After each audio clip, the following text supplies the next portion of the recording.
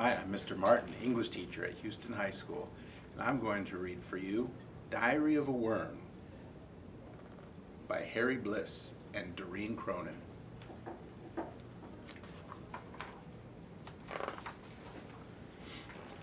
March 20th. Mom says there are three things I should always remember. One, the earth gives us everything we need. That's me. Two, when we dig tunnels, we help take care of the earth. Must make tunnel. Help earth breathe. Three, never bother daddy when he's eating the newspaper. March 29th.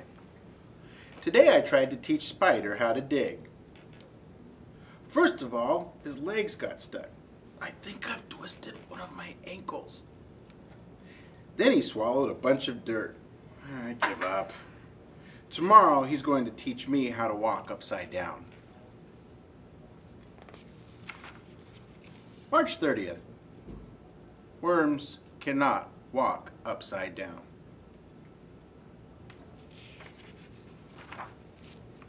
April 4th. Fishing season started today. We all dug deeper. Did you guys hear something? April 10th.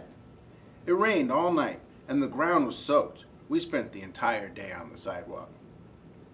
Hopscotch is a very dangerous game. April 15th. I forgot my lunch today. I got so hungry that I ate my homework. My teacher made me write, I will not eat my homework 10 times. When I was finished, I ate that too. April 20th. I snuck up on some kids in the park today. They didn't hear me coming. I wiggled up right between them and they screamed. I love when they do that. May 1st.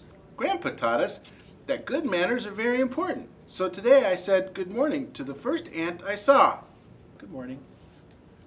There were 600 more of them in line.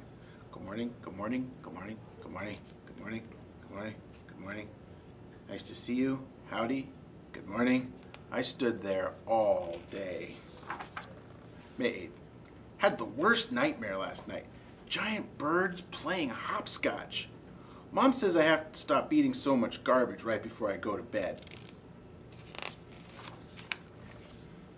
May 15th. I got into a fight with Spider today. He told me you need legs to be cool. Then he ran. I couldn't keep up. Maybe he's right. May 16th. I made Spider laugh so hard he fell out of his tree. Who needs legs? May 28th. Last night I went to the school dance. You put your head in, you put your head out, you do the hokey pokey, then you turn yourself about. That's all we could do. June 5th. Today we made macaroni necklaces in art class.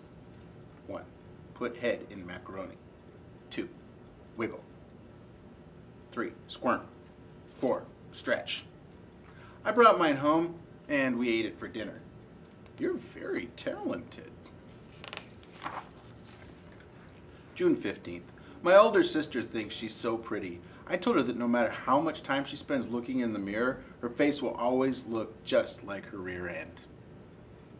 Spider thought that was really funny. Mom did not. July 4th. When I grow up, I want to be a Secret Service agent.